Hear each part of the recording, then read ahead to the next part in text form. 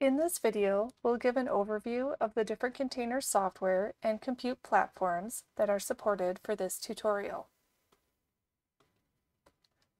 First, let's talk about container software. There are a number of different container software out there, but there are two supported for this tutorial, and those are Docker and Singularity. Docker is probably the most common and leading software containerization platforms, and it was the first one used in this project.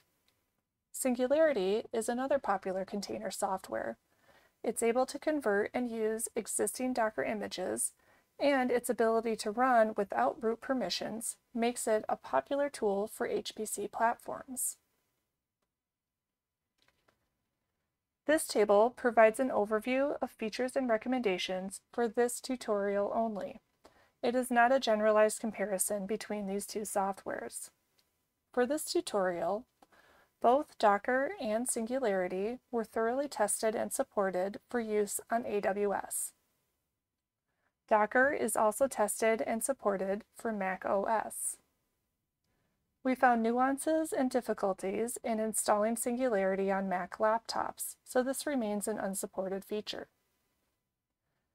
Using Docker to run on Windows and Linux has been tested, so we know it works, but due to limited testing availability, there may be issues not identified or with provided solutions. Docker is not recommended for HPCs due to the need for root permissions but Singularity has been tested for this tutorial on NCAR's Cheyenne.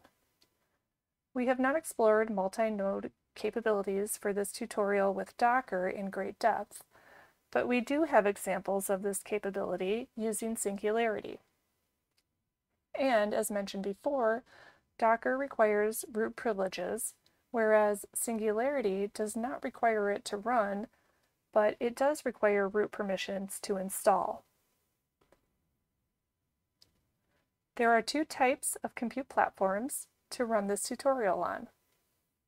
This could be a local machine, which could be a Mac OS or a Windows, but it needs to have Linux or Unix terminal access and the required software installed, like Docker or Singularity. Or it could be on cloud platforms.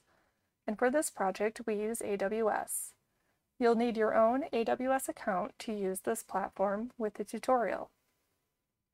The next sections of the online tutorial will go over how to get started running on a local machine or running on the cloud using AWS.